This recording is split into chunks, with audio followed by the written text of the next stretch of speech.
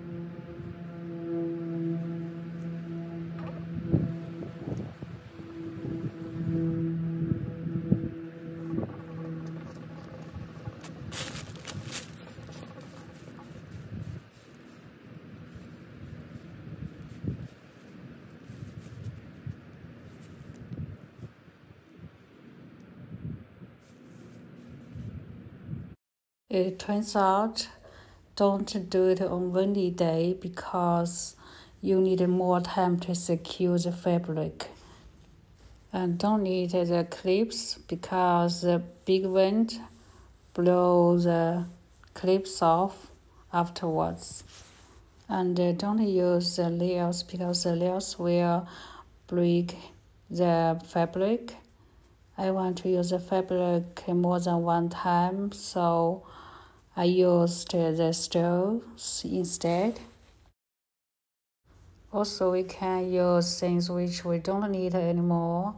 We put uh, them into the storage, like uh, kids' tennis sticks as support sticks, or use uh, white sheets as a cover. So, this is my video today. Thanks for watching. See you soon. Bye bye.